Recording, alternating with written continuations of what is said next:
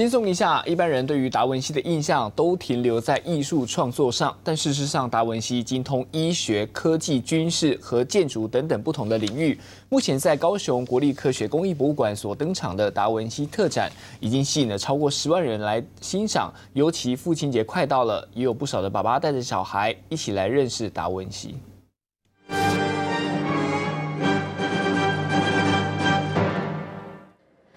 蒙娜丽莎的微笑藏有二十五个秘密，如此神秘的色彩，在暑假期间更是吸引许多大人带着小朋友前来欣赏。小朋友有兴趣，我自己也很好奇，对，觉得达文西很像我们的孔子。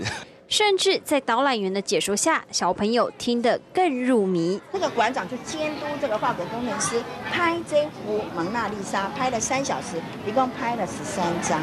达文西不止在艺术上成就非凡，同时他还是一位军事家。泡的料填料哈，就是从这边打开哈，填进去啊，它可以控制角度。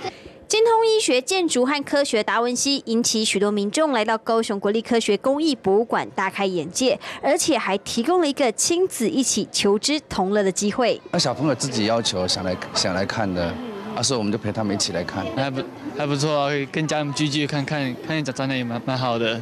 达文西特展已经有超过十万人欣赏，加上这星期日就是父亲节，馆内特别推出在星期日当天父子一起前往，就可以得到一份有关达文西的小礼物。看来达文西迷可要好好把握机会了。日新闻刘华、陈凯茂高雄市报道。